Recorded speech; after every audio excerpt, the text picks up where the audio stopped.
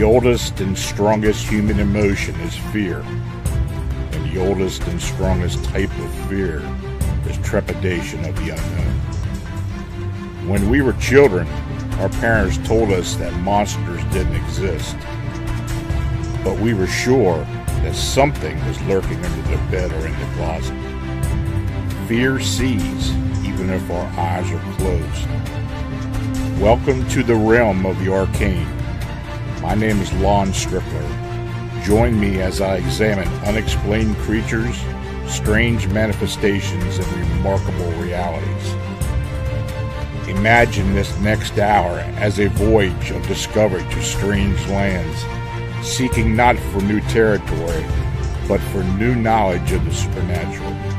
Come on board as we begin this adventure together.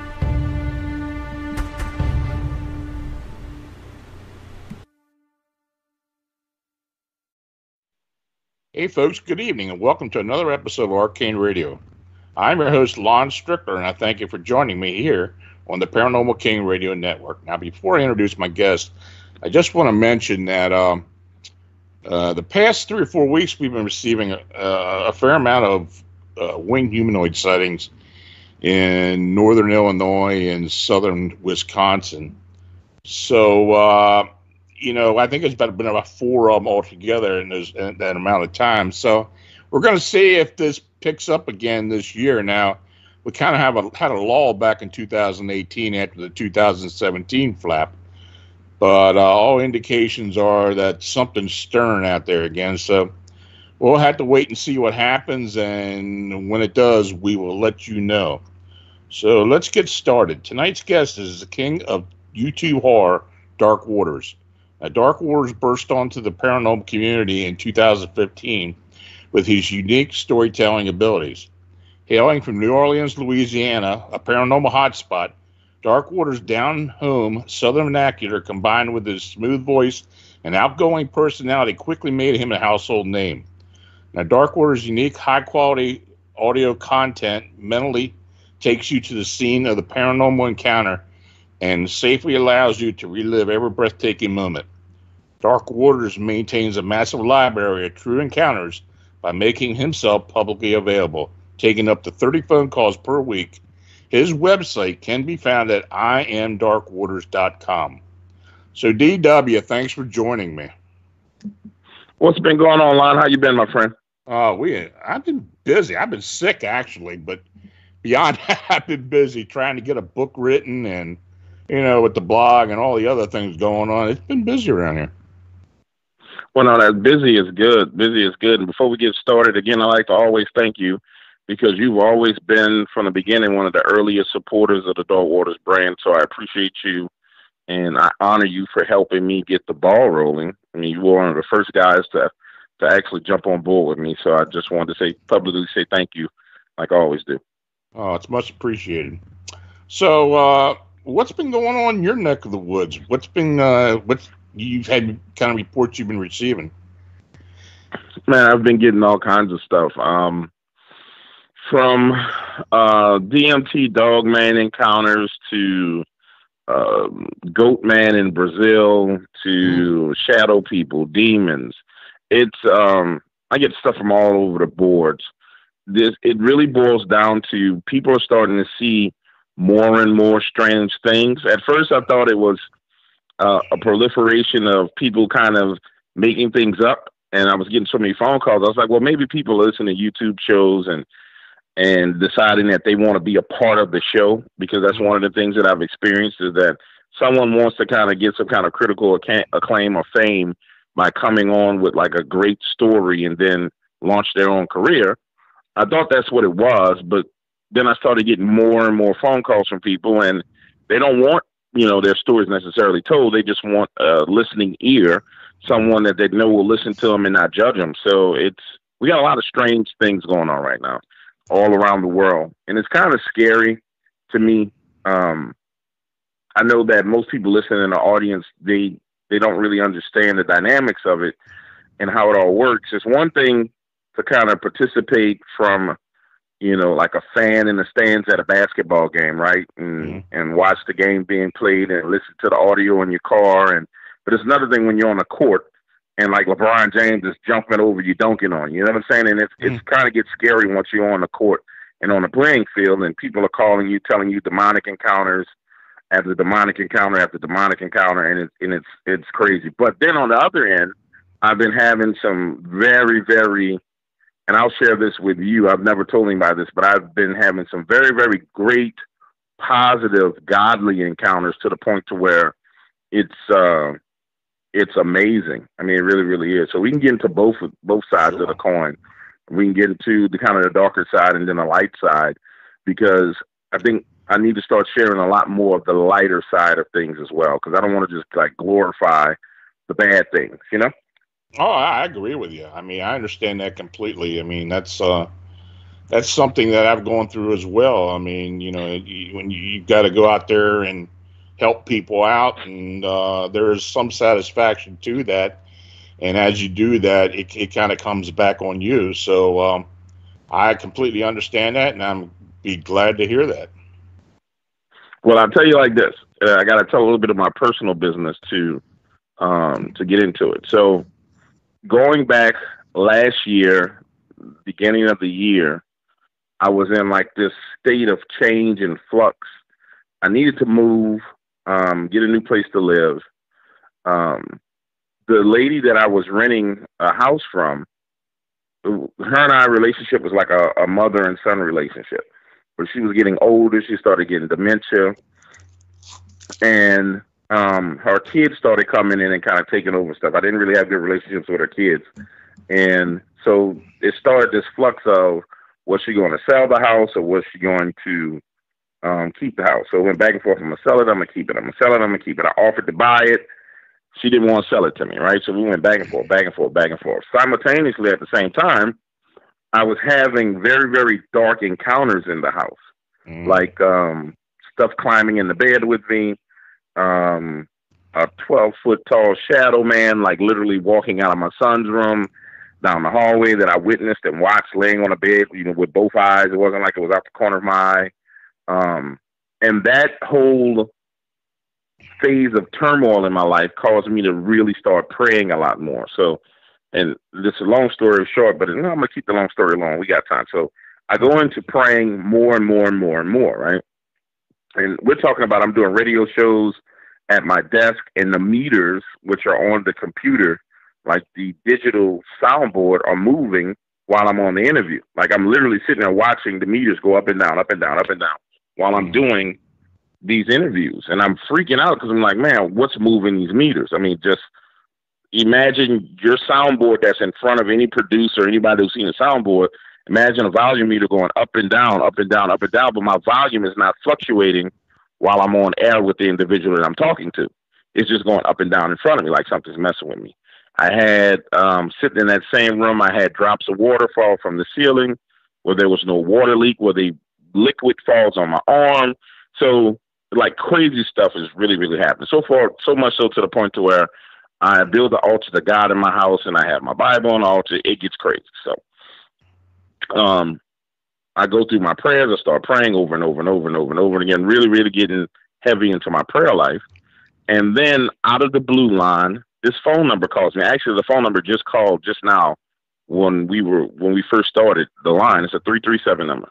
I get a phone call from this number, and it's this preacher that's just talking, and he's like, you know, the Lord is telling me that you're in a, a change, uh, a time of flux and change, that He wants you to know prophetically that your life is fine.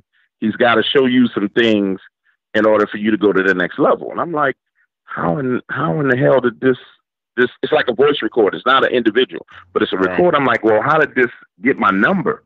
right? So I'm curious. So it's like press one if you want to hear more. So I'm like, you damn right. I press one, boop, and I listen a little bit longer. And I'm like, that was weird.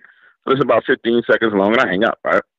Um, everything starts going down with the house with um with the lady I was living in, and I have to move extremely fast. I'm talking about like within four or five days, I have to move. Wow. And I'm stressing out over it. I'm like, this is ridiculous, you know. And and I'm like, I got to come up with all this money. And I, I think I ended up having to come up with like something like $13,000. It was ridiculous to get everything arranged and moved and simultaneously paying tuition because the school year's doing all kind of crazy stuff, right? Out of the blue, thirteen thousand dollars comes. I'm like, well, it's thirteen racks. I mean, okay, great. Spend it, move, bam, everything is settled. And I'm like, all right, I continue to pray. Then more stuff starts happening. And every time something negative was coming, this phone call would happen. And it would ring and it would be this guy just talking. The next phone call was like, Well, God wants you to know that um, he's aware of your financial situation because you just spent a lot of money unexpectedly. And there's no way I never talked to this voicemail line. I want you to understand. If you can only listen. And it, it says, you know, you spent a lot of money unexpectedly and you're worried about money. God wants you to know that He's taken care of you since you were a child. Don't worry about it. Keep on plow moving forward. And I, I don't know if it was plowing forward or sowing forward or whatever. It was keep moving forward. Click, I hang up the phone, right? right? I'm like, that's weird. Super weird. And keep on, but I'm not worried about it. Keep on moving forward. Then it rings again, and then and I'm in the middle of working a deal with a, a TV network called Binge TV to do uh, video distribution through Roku and Google um, Fire Stick and all like supposed to be like a thousand distribution channels where my content will be on on all these channels.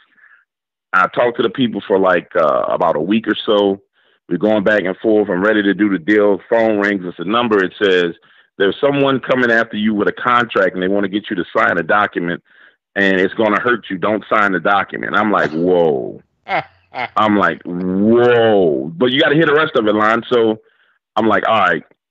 I go and I have a this ritual that I do every morning. I get up, I have a cup of coffee, I read my Bible, I smoke cigars. I have to do this because this keeps the bad stuff from around me. And so I'm smoking my cigar, and I said, "Well, God, I said, I guess I need to start asking you questions because this is getting out of hand." I said, "So why is this, you know, why is this number calling me, and is this true?" Don't hear nothing. And, and, normally, when I hear a voice in the back of my mind, I know that's God speaking to me. I don't hear nothing. I'm just finished smoking my cigar, going about my business. I get an email that night, late, late, late, late that night, like 11 o'clock. And it says, it's from the lady who owns the network. And she says, well, we're going to not no longer be doing audio content.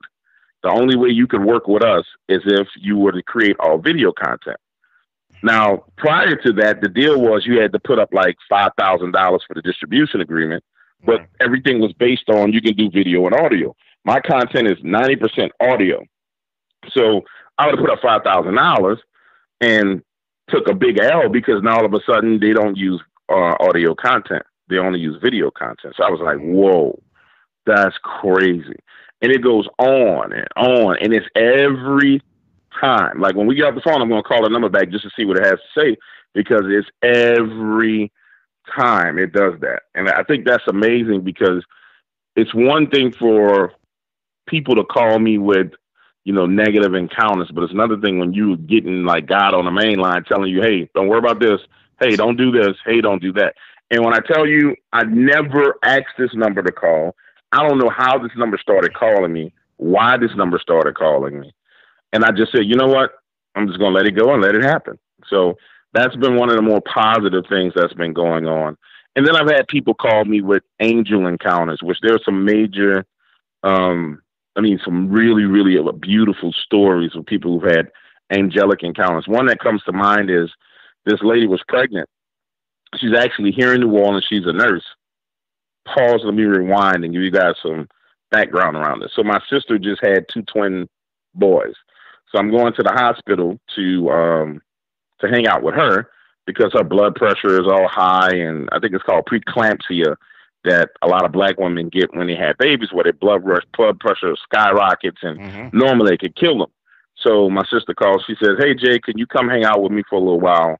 Um, you always make me feel better." So all right, I go in the hospital, and I'm there for about an hour. And she's like, "Well, I want to listen to some of your horror stories." She's like, "I haven't listened in a while let me hear some of your best work. So she's listening to one of the stories. We just kind of chilling. in a dark room because you know we get high blood pressure, you have headaches, and all the rest of it. So we sit in the dark room. She's like, "Oh my God, this is so amazing," and we just kind of talking. And walks the nurse. The nurse is pregnant, and she's saying, um, she says, "What's that you guys listening to?" So my sister's like, "Well, that's my brother, and he's Dark Waters, and he does this, this, this, this, this." So there's this long kind of conversation about how I got started, why I do it, bada bing, bada boom. Nurse leaves, comes back with a thing of water, and she says, Well, I want to tell you one of my stories. She's like, Do you only do scary stories? I said, I do all kinds of stories. So she goes into how just three days prior to that, she was riding in a car.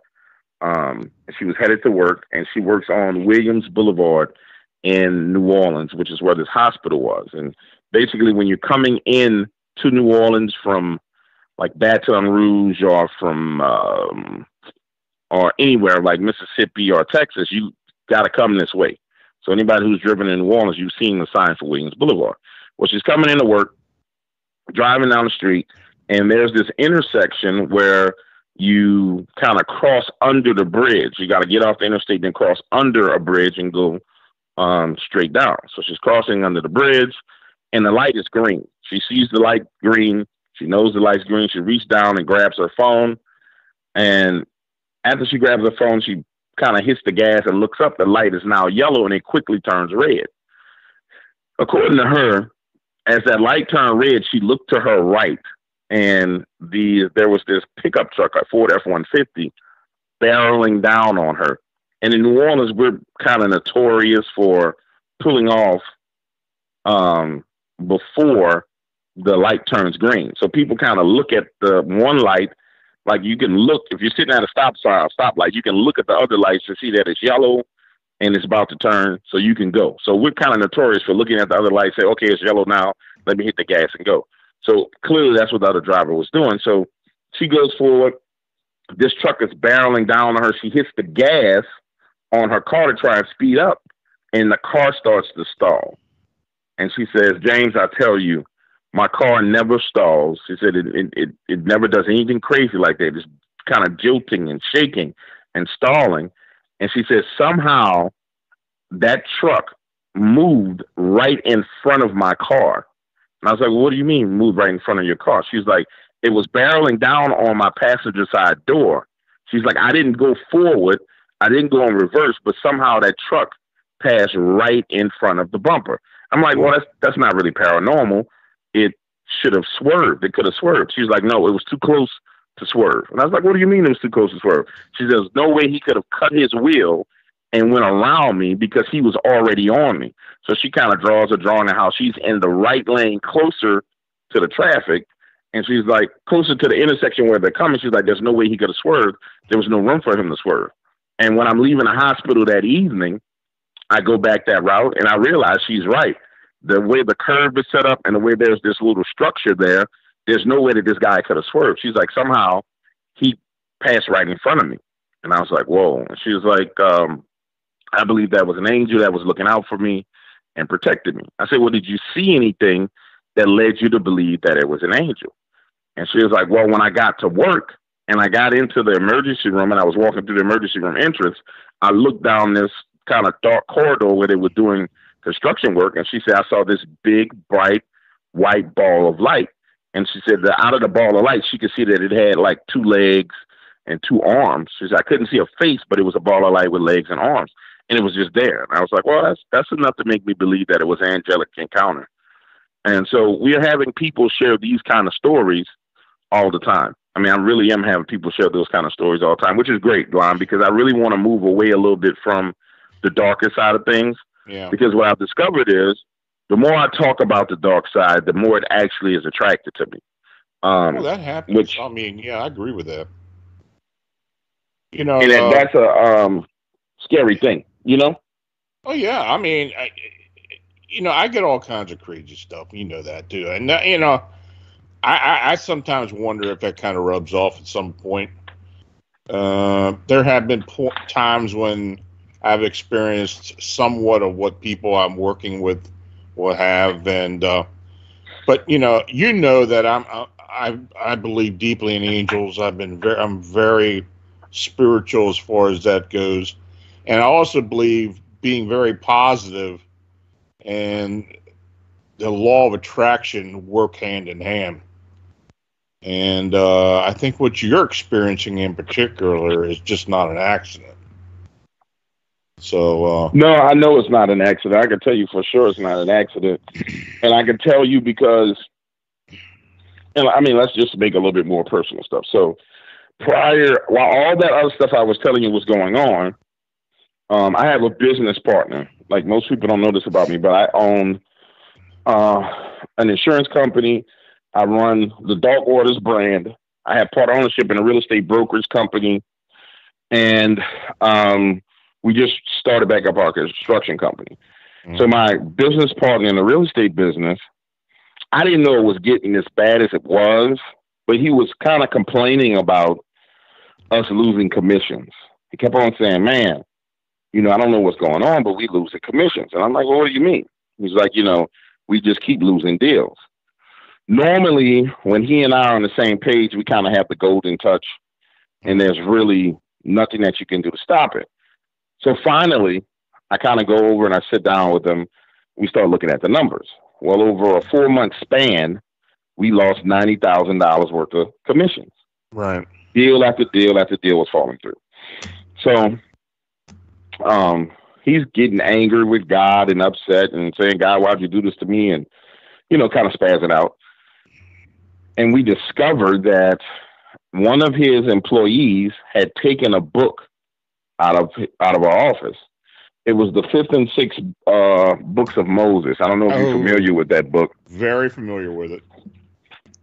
So she had taken the fifth and sixth book of Moses, and she was actually using his book to do kind of do spells and whatever the hell she was doing with it, right? Absolutely. So it all comes out because she come well, it all comes out this way. There's a a very, very powerful voodoo voodoo priestess down here named Sally Ann Glassman. Really, really sweet lady. I mean, cool as they come. Well, this young lady goes to Miss Sally for help about, you know, what was going on with her. So, you know, she tells Miss Sally what was going on, and she kind of had the book, and she opened up some things that she shouldn't. And anybody who has that book knows that it did smack in the center of that book there is a number of seals, about six seals, maybe five seals, mm-hmm. that are purely 100% demonic. I mean, those it's dead smack in the center of the book. Those are a no-go zone, purely demonic seals. Some of the other stuff is angels' names. There's some ones in the back that are like Baal worship, where people used to sacrifice babies to Baal. But for the most part, those middle ones are bad juju, right? So, mm-hmm. of course, she gets the book. She goes to the middle ones she gets all screwed up and she goes to Miss Sally. Um, now, Miss Sally and I are cool because in one of our other businesses that pretty much failed, we had a credit card processing company. But she's one of our only clients in our credit card processing company where we process her transactions. So she goes to Miss Sally. She's talking about where she got the book from. Miss Sally knows us.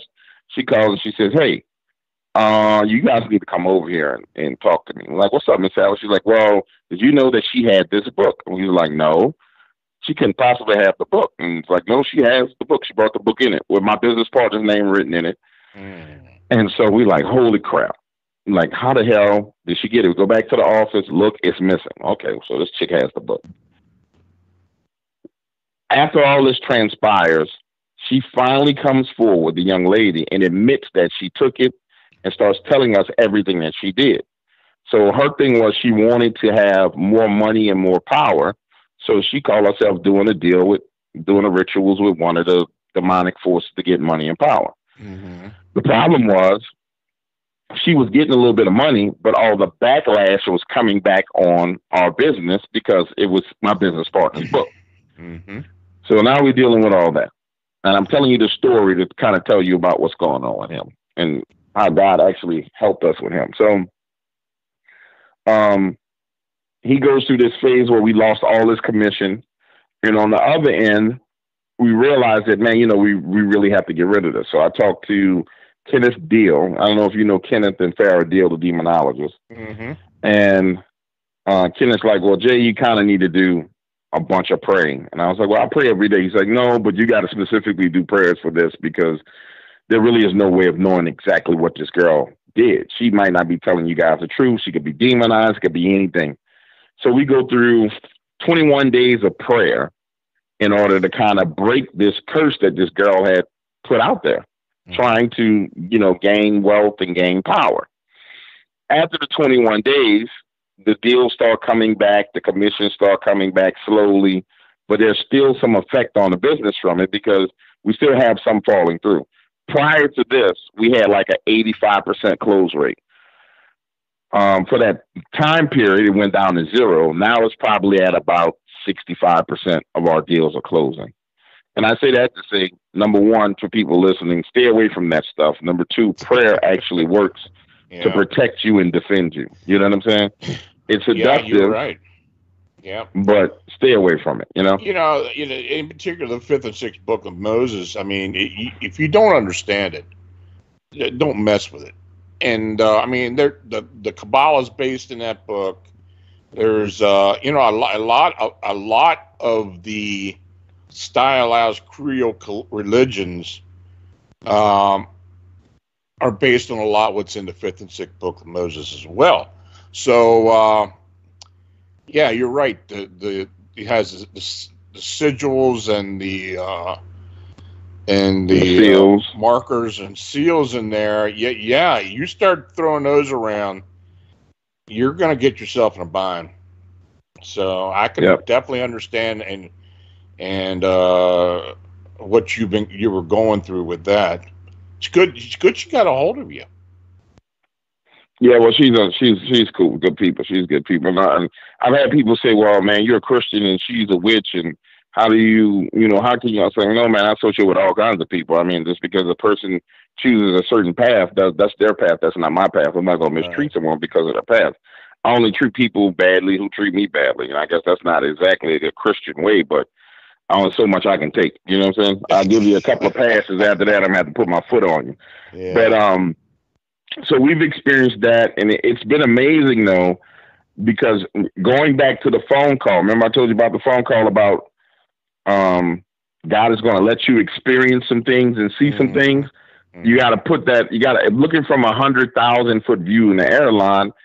When I kind of step back and look at it, it was like, wow, I am experiencing and seeing things that um, that kind of solidify my faith because of the simple fact that okay, not only did I have clearly a, that shadow thing was a demon. I, will tell you more about that later. That came into the house, mm-hmm. and I, and I'll tell you why it came. Um, but that happened, and then I have this where it's affecting the business. But and if you remember a long time ago when we first started talking, I really had a genuine fear of like demonic entities, and I wouldn't talk to anybody who had something demonic, and yes, you know, I just was like, "Nah, I'm not doing it." Remember that?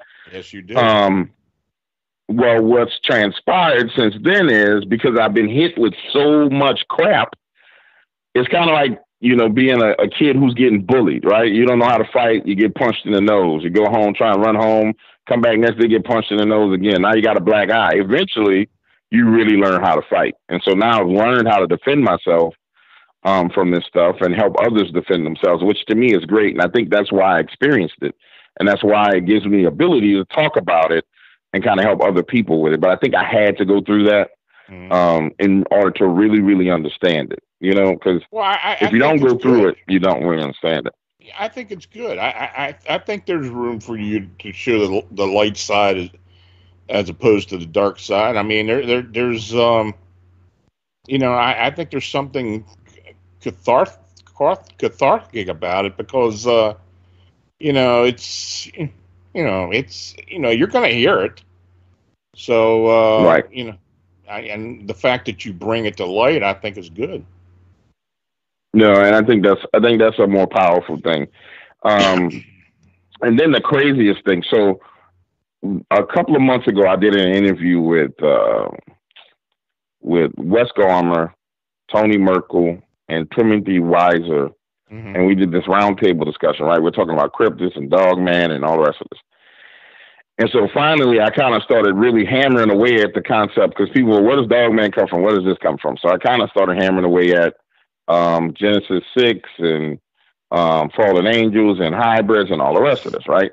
Mm-hmm. And to me, it started it started seeing a lot of these encounters that I was getting was getting from people really seem demonic, like Dog Man popping up in people's bedroom and Dog Man outside the window looking in. They go outside, nothing's there, and there's not enough time for something to move from where it was to across the fence and away before they were able to open the door and go and look and see. And I was like, man, this stuff really, really sounds demonic. So I was like, I'm wondering if some of this stuff is demonic manifestations or if it's some kind of interdimensional entity And I got a little bit of confirmation on this because I started talking to these gentlemen out of California who use DMT. And this is crazy. You, you're familiar with DMT, right? The drug that people use to right. kind of open portals in their minds. Right. So I'm talking to this gentleman, I, and I didn't know what it was, to be honest with you. He was like, Yeah, man, you ever talk to anybody who calls me? He says, You ever talk to anybody who use DMT? I'm like, oh, What the hell is DMT? And, and, and he's like, Well, you know, it's this drug that we take and we smoke it and it, and it gets us high, but it's like a high you've never had before. And you, and you go into this other world. And I'm like, I don't really want to talk to drug addicts, bro. I mean, that was, that was the first, you know, response. All right. All right. Like, I don't, I don't want to talk to drug addicts. He's like, no, no, no, no, no. So I really want to tell you about my trip because I think, you know, my trip might enlighten you on some of the things that have been going on with people. And I'm like, nah, bro, I don't want to talk to drug addicts, man. I, it's like, I said, discredits you the fact that you're on drugs. He's like, well, look, do some research on DMT and then call me back if you're interested in the story. I was kind of rude too. I, you know, that's I like me to really be rude, but it's just like, dog, I don't want to talk to a drug addict.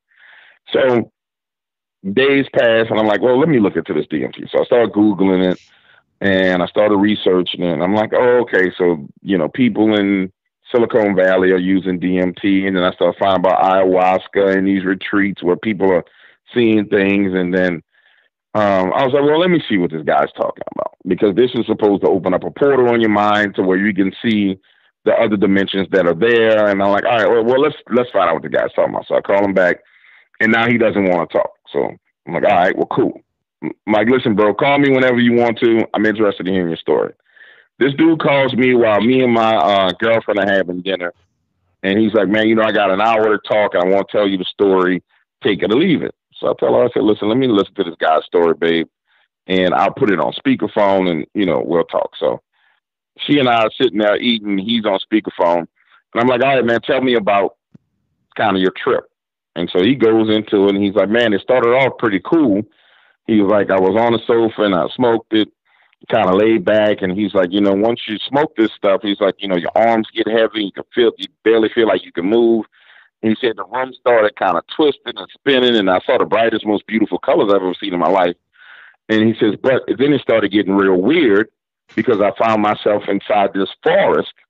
And he said it was a blue forest. And I was like, what you mean a blue forest? Like the ground was blue? He's like, no, the trees were blue. And he's like, but it, it wasn't like I was on the ground. He's like, I was looking down at myself from being in the air. Like I was above myself looking down at myself in the forest. And he said he started to kind of walk around and then he saw the tree swing and he could tell that something was breathing and every time there was his breath blowing, the trees were swaying I was like, oh, that's kind of freaky and weird, bro. And he's like, yeah. He said, but no, wait till you hear the rest of this crap. And I was like, all right. He says, then I drop down into my body. Like I come, I literally drop down into my body. I'm in on the ground amongst the trees.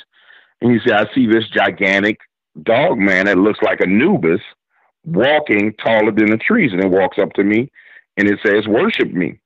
And I'm like, what did he tell you? He said, it said, worship me, bow down and worship me. Mm-hmm. And I was like, well, did you bow down and worship it? And he was like, no, I was just confused. He said, because you got to realize, man, I had just came from candy canes and rainbows and flowers and spinning circles, and it was beautiful. And now I got this gigantic golden eyed Anubis telling me to worship it. And I'm like, well, what did you do? He said, I refused to worship it. And I said, well, what happened? He said, I tried to turn and run, and then my feet started to sink into the ground, and I was stuck there. And he said, man, it felt like I was there for years, and this thing was commanding me to worship it. And I was like, well, what else did it tell you? And it just told him to worship him, and many others are worshiping it, and I should worship it too.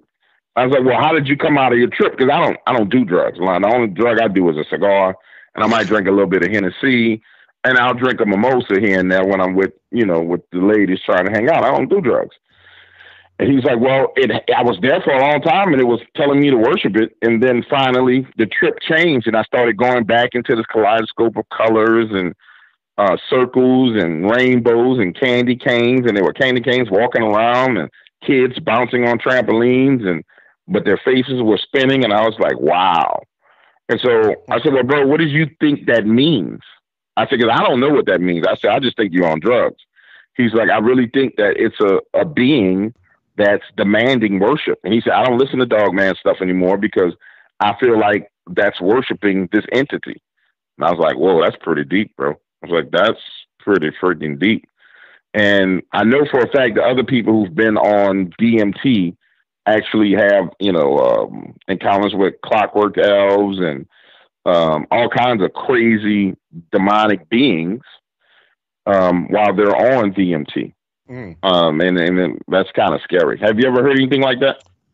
Yeah, I, have read a couple of accounts of, with people that have used DMT. It's, um, you know, I, I, I don't know what to really think of it. To be honest with you, I mean, it, it does. You know, some of what people talk about seems like uh, being in a type of, uh, oh, I don't know, some type of uh, deep uh, hallucinatory state, but you know, I guess I guess it reacts different to everybody. I, I think it not, does. I'm just not sure. I mean, you know. Well, I thought it was interesting because of some of the fact that this thing was commanding him to worship it. I thought that was I thought that yeah, was interesting. I thought it was really really interesting. You know, I and the reason I, why. Go ahead. I'm sorry. No, go ahead. No, I was gonna say the reason why I think it's I do think it may be something to it is because I've said over and over and over, out of all the topics in the paranormal world, that is the one topic where I've seen people. I used to think Bigfoot people kind of behave kind of cultish and crazy, right. but I've never seen such fanatical people as I've seen the people who kind of listen to Dogman stories. You know what I'm saying? Like they really get fanatical and crazy about it, um, to the point to where it's like it, it, it it's it's overboard how crazy the people behave over that particular topic. And that's why I kind of feel like maybe there's some truth to it because I've, I've been in a whole bunch of Bigfoot groups. I've been in Dogman groups. I'm in ghost groups. I'm in demon groups. I have accounts and groups on Facebook and I got a following things on Twitter. Nobody really knows what account is there, but I sit there and I read. And when I start looking at how people behave across all those groups, mm. it's these dogmen people that really go, you know, ape crap crazy. Right. Almost like it's they have to listen to it. You know what I'm saying? It's like I have to listen to it. I have to know about it. I have to watch it. And there's it's not like it's a necessity, but yeah. and I even had people who contacted me after I brought that up and he was like, Yeah, you know, I thought about what you said, man, and I, I do feel like I was getting addicted to it and I don't understand why. And I was like, Yeah, and it was like I listen to all kinds of there are people who sleep listening to Dogman stories and Dogman interviews and um, consume hours and hours of it. I'm like, yeah it, it's it's not that fascinating to me. I don't understand why it's that fascinating to people. You know. Well, I tell you, you know, Butch and I, Butch Witkowski and I have been investigating these uh, upright canine dogman phenomena in Pennsylvania for the most part, and um, it does seem like there's a mystical aspect to it. Now, I'm not saying just supernatural, like oh, it might be uh, interdimensional being, like some people think Bigfoot are too. But I believe that there's a mystical aspect to it as well. There's something that, you know, when you you know you start talking about this, the gentleman who thought that he had seen Anubis. Well, maybe there's a connection, spiritual wise or mystically wise, with this. Maybe it's something that draws people more. Yeah, it's got to be something. I mean, I'm telling you, it has to be something because they're so put it to you like this every dogman encounter story that someone tells me doesn't kind of cut the mustard for me to even repeat it, right? Right. But at the end of the day, there was a time period where man, I would get three, four calls a day about people having dogman encounters, and it just doesn't make sense. It didn't make sense, and to this day, it doesn't make sense because there's no way that there's that many people seeing these these uh these creatures in the woods. I mean, it's just it's just it's not possible. Numerically, it's not possible. You know, so to me, that's when I started. I shied away from it a lot because then I said, well, you know, this is kind of getting oversaturated, and then it kind of took off and went in the creepy pasta direction, where people were kind of just making up crap. And what I've what I've under what I've come to understand is that people are taking things that are not factually true and they're passing it off as truth and yeah. then that gets repeated and parroted over and over and now the water kind of gets murky and muddy and you don't know what what the hell a person actually saw i've had people repeat back to me stuff that i've said and be like well this is this, and I'm like, yeah, I know. I'm the one who told people about that. You know, so and I, I do think there's got to be something to it. And I think there's a spiritual aspect to that yeah. oh, that kind of makes it a lot more attractive to people. You know, what I'm saying? Which to me, it's like a lot of other things. I mean, I think that it gets saturated to a point where people may also start manifesting these things through the thought form. Um, you know, I, I, I, deeply believe that. You know, you, you hear people talk about the Slender Man phenomena and, and things like that, and uh, you know, this it's got to be a being that is self manifested, just like a poltergeist. It's a self manifested entity. I mean, this very well could be the same phenomena. No, I think it may be. I think it may be because I think it's it's kind of taken off and went in a direction where you have so many people focused on it and so much yeah. energy being put into it yeah. that I really believe that that's where it's getting to. It may I'm not well. saying that they don't have physical creatures in the woods because I've seen prints and I've seen a couple of videos that actually look like something that that really look like an upright walking canine. But um, for the most part, there is no real good evidence. The people that I know that had evidence, that evidence was taken from them really, really quickly. I mean, real quickly, uh, which was crazy. Um, and I've seen prints, but as far as like if you, for example, you go and look for Bigfoot evidence, there's YouTube channels like with the guy Thinker Thumper, who has evidence of you know there's one where there's a Bigfoot in a car camera. I mm-hmm. mean, in the rear view camera of a car, you can see it chasing the car. Mm-hmm. There's evidence where you can see them throwing trees in Russia. Like you see the whole tree come up out of the ground and it's thrown. You can follow the trajectory of the tree. You can see everything. You know, there's the the Patterson Gimlin film when it comes to Bigfoot. There's overwhelming evidence of Bigfoot. Why is there, you know, why is there no real overwhelming evidence of Dogman at this point in time? That's public. You yeah. know what I'm saying? Like yeah. real evidence. Well, and know, that's I, what's starting them. I, I absolutely, I mean, Butch and I both acknowledge that a lot of these sightings that we have received over the years may very well be, uh, may, may very well have a, a deep supernatural thing to it. I mean, I mean, it's even the description that the people give, the witnesses give of it having a a type of uh, a sheen to it or uh, a spooky look to it, like it's kind of you know half half real and half spiritual, and you know things like that. So yeah, yeah I, I think there's something to that. Yeah, and that that's and so that's kind of where I stand on Dogman now, and I, and I reserve the right to change my opinion. That's one of the things I think is crazy because people like you said this, or did you know I reserve? Yeah. I, I want everybody to know I reserve the right to change my opinion on anything at any point in time, and to change my mind at any point in time, which most people don't do. So that's kind of where I I am on Dogman at this point because it's just getting way, way, way, way, way too weird for me. Yeah. I mean, it's really getting weird. Well, um, it's it's it's a phenomena that when you think about it, it's really hard to believe at some point. I mean, you know, you're talking about a eight, nine, ten foot bipedal wolf-like creature that looks like a werewolf that's just standing there looking at people. Uh, I mean, no doubt people think they saw something, but it's a it's a it's a very hard to believe phenomena. I mean, you know, and you know, I've heard a lot of the stories, you know, over the years, but it's um, it, it's it's still kind of hard for me to to buy into.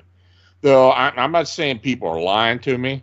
I believe they truly did see something, or uh, you know, thought they saw something, but you know, it's. Um, it, it's kind of hard for me to really grasp onto as opposed to like a you know a Bigfoot, which I have seen, or a, a winged being, which I have seen. So uh, I, I, guess it, the proof is in the pudding. If you saw it, then I might believe it more. But uh, who knows? Yeah, no, I'm with you. I'm with you on that. I'm with you on that. I, and I just know I've talked to people who've actually seen them, and I know there's like I can tell when someone's called me if they actually seen it or not. especially once I start getting in the recount the encounter.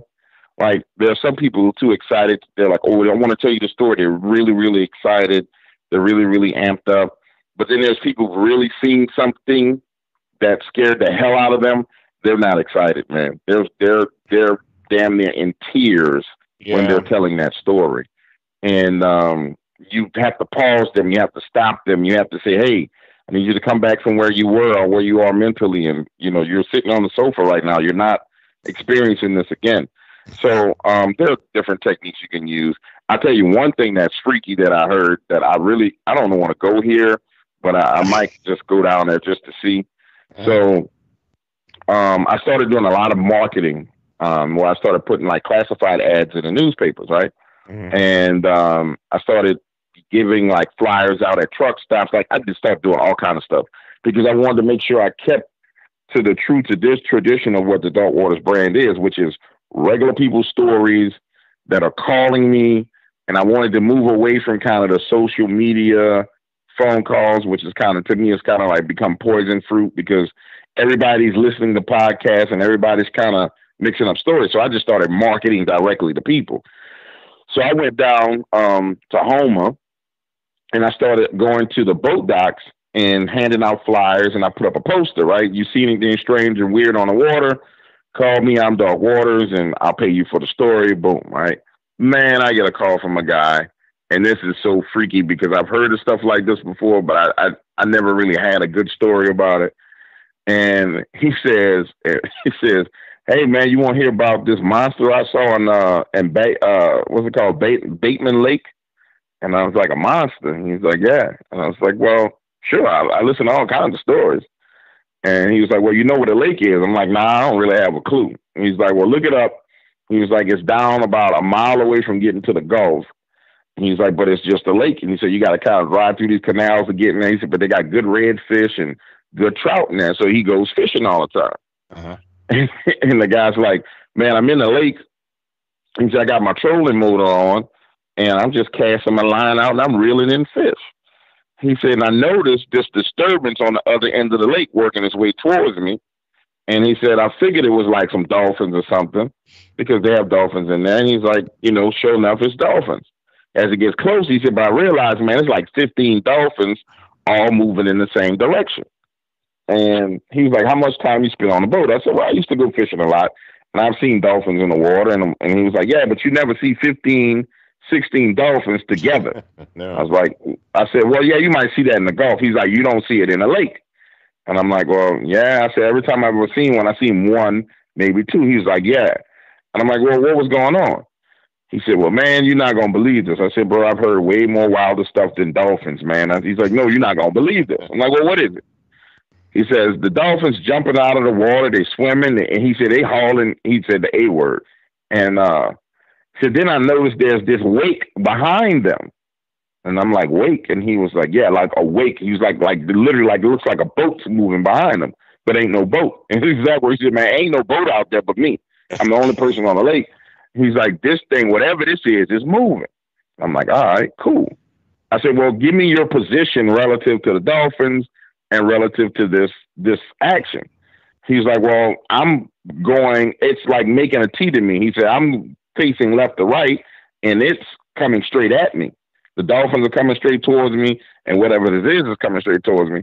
He's like, once I realized how big the wake was behind them, he said, I turned the motor and started trolling towards the bank and headed that way. He said, as I started headed towards the bank, the Dolphins started heading over towards the bank. And I'm like, okay, this is getting good. I said, well, what did you see? He said, man, you're not going to believe. He kept on saying, you're not going to believe this, man. You're not going to believe me. I said, I promise you, I'm going to believe you. Just tell me what's going on. Then he starts to kind of stutter and stammer, and he's like, Well, one of the dolphins gets up on me and it jumps out of the water. And Jay, when it jumps up, he's like, It jumps. And then it dives. He said, I could see it shooting back down under the water as deep as it could. He said, But then this head rises out of the water. I'm like, Head. And he's like, Yeah, a head rises out of the water. I'm like, Okay, a head. What do you mean? He's like, A head, like it looks like a snake head rises out of the water. He said, then it dives in the water right after the dolphin. And I'm like, what? And he's like, yeah. I said, dude, I'm, I'm like, bro, time out, rewind. because I've heard about these giant kind of like serpent creatures that are known to be down in South Louisiana. I've heard people talk about them. Uh-huh. Like when out fishing with my dad when I was a kid, like it was, you know, we'd be out on the water and he'd be like, "Yeah, you don't want one of them uh, sea serpents to get you down here. You know, we got them." And fishermen always talked about, it, but I never really had somebody tell me a story about it. So I'm familiar with what he's talking about, but I've never actually had anybody tell me a story. So I said, "Okay, pause. Let's rewind." I like, I want to, I want to hear everything. He's like, "No, I'm going to tell you everything." I said, "No, go back to the wake part." I said, "You know, describe the wake to me." He's like, "Man." You've seen a boat move in the water, right? And I was like, yeah. He said, a boat moves in the water, it leaves a wake where there's these waves. I said, well, did now I'm chunking down. Were there white caps? Was it just waves? He's like, no, there was no white caps. It wasn't pushing water to where it was white caps. He said, but it was waves, like something huge is moving through the water. I'm like, okay, cool. Because in my mind, I'm thinking he's talking like a boat engine. You know how a boat engine turns up the water and it's white. He's like, no, no, no. He said, imagine a boat pushing through the water, but the engine not churning up the white part but the waves are high like that. I'm like, okay, cool. And then he says, well, at this point in time, I see the head come out of the water. I'm at the center console on the boat, and I'm trying to crank the boat up to actually shoot away. He says he gets the boat cranked up, and he starts shooting away towards the bank, literally driving his boat up towards the bank. He's like, I was about to run the boat onto land just to get away. And he says, as I'm turning it to the right to go towards the uh, towards the bank, he says, I see another dolphin jump out of the water and then something snaps at it. He's like, as it's coming out of the water, the tail's coming out of the water, something snaps at it. He said, I see the blood. He said, because there's water in the, or there's blood in the water. He said, but I don't see if it bit the tail off or if it bit it or how did it happen. He said, but I saw it snapping at it out of the corner of my eye. And then I saw the blood. And I was like, bro, I would have peed in my pants, man. I said, I literally would have peed in my pants. And I said, Did you get, were you able to get your cell phone out? and he was like, Do you think I was thinking about a damn cell phone? I was like, Yeah, I wouldn't have been thinking about no cell phone either, bro. right. I said, I really wouldn't have been thinking about no cell phone. I said, Well, what did you do? He said, Man, I pulled that boat as close up to the bank as I could. He said, I got off the boat and got onto land. He said, it really wasn't real land. He said, I got onto as much land as I could. You know, said, I sat there for an hour and I waited. And he said, I watched this go back and forth in a circle for like 30, 45 minutes and all the activity stopped. Said, then I got my boat and I punched it and I went back out, out the canal and went back to the boat dock. I said, bro, that would have scared the crap out of me, man. I said, really would have scared the crap. I said, have you been fishing again? He's like, nah, bro, I'm not going in that area anymore. He said, I'll go fishing, but I'm not going in that lake no more. And I was like, wow, wow. And then in the description, it was crazy because the description of the head said it looked like a giant snake head. And I was like, whoa. So I wanted to know about the eyes. This is the creepy thing. Mm-hmm. I said, can you tell me about the eyes? And he was like, you know how a, a snake has um, the eyes with the slit in it? And I was like, yeah. He said, but it had a black slit, but it had this really, really kind of um, light blue kind of eye part. He's like, you know how we have like the iris or our eye where the color is? He right. said it was really, really light blue. And I was like, well, what color was it? He was like, it was like a dark brown to blackish color. I said, well, bro, that's pretty freaky, man. Said, that's pretty, pretty freaky. He actually wants to do an interview with me to talk about it. And I'm going to have him on to, just to, so everybody else can hear him tell the story because he was freaking out, man. He was, he was completely freaked out by it. And I've heard, again, I've heard about those serpents. I heard about people um, seeing them. And I have a friend of mine named Haywood. I could tell Haywood's name because nobody gonna mess with him because he's certified crazy. And uh, he worked on all rigs, and he used to tell me, all my friends down here, my nickname is Black, B L A C K, because I smoke cigars and I'm a big black guy. He's like, Black, we was on a rig, and man, they had this big old snake in the water. And he's, you know, he just said it in conversation a couple of times, um, like it was nothing to it. And I was like, what do you mean a big old snake? He's like, man, a snake big enough to circle around the rig, a big old snake. And I was like, man, there's no such thing as a big old snake. Man, I'm telling you, I can call my boy and he'll tell you about the big snake. So I've heard about it before plenty of times. I just, you know, I never had anybody who saw something that close. So that, that I know that that was freaky, man. That was absolutely wow. freaky. Well, I'll be honest with you. I have never heard anything like that before. And yep, uh, that's crazy, man. Especially down your neck of the woods, because uh, I mean, I've heard a lot of different stuff down there, but not not a big snake that chases dolphins. And oh my lord. Mm-hmm. But that's but you know, Lon, that's why I wanted to start marketing. What I discovered about like marketing on Facebook and Twitter is you're actually marketing the people who. And what I mean by marketing, marketing for stories is you're marketing the people who actually are consuming content, right? Right, right. So you're getting, to me, you're kind of getting a little bit of a tainted kind of well. Not necessarily saying that people are lying, but also they're listening to content. So you, you, the probability of somebody telling you something that's made up is significantly higher. Um, when you start talking to nurses and um, and police officers and fishermen and putting stuff directly in their hands and then saying, "Hey, no, no, no, no, I'm not playing with you, man. Look me up on YouTube. Look me up on this. Look me up. I was on Coast to Coast." Then they kind of look at you like, "Well, maybe I can tell this guy the story that happened to me." Right. And they're like, right. then they tell you, you know. But it's it's a much harder road to hoe to get the content, but it's real content from real people. You know what I'm saying? That's what my brand is built on, real content from real people. The problem is when you start getting with people who consume a lot, you it really makes it hard to kind of weed through it. It really, really does. You know, it really, really does. So I'd rather just get it, you know, straight from the horse's mouth. And I know I marketed directly to that person. I know I did. Like there's a guy who works at the airport.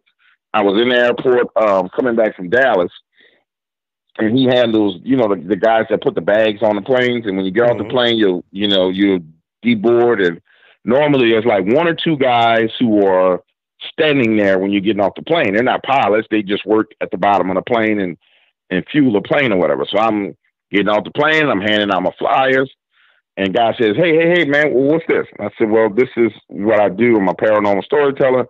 You got any stories you ever want to tell? You know, just give me a call." And he kind of looks at me weird, and he's like, "I got a couple of stories I wouldn't mind telling you about this airport." I'm like, well, "Okay, cool." Holler at me about the airport, and I go on about my business. That night, he calls me and talks about being on the, I guess what's, I guess it's the tarmac where you stand on the mm-hmm. plane where you walk around, and at New Orleans Airport, late at night, and seeing UFOs. And he was like, "Bro, do we see so many UFOs out here?"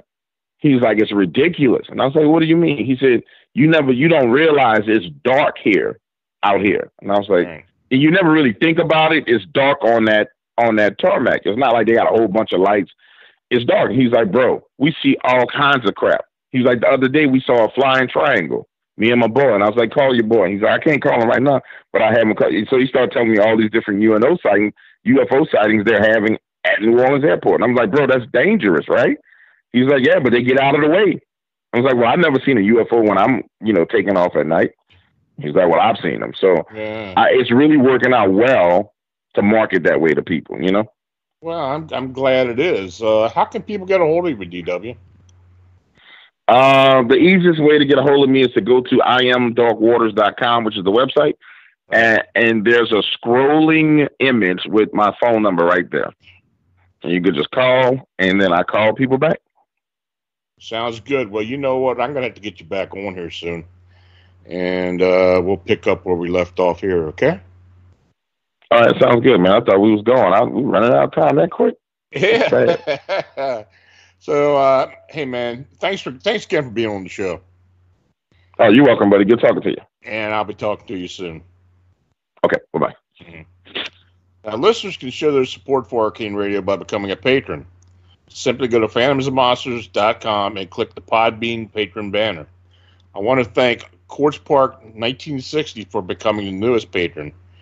Arcane Radio also accepts direct donations. Now, if you have an unexplained encounter or sighting, feel free to contact me through Phantoms and Monsters blog site. I want to again thank Dark Waters for joining me this evening, and I want to thank you for listening to the show. Good night, and have a safe and happy weekend.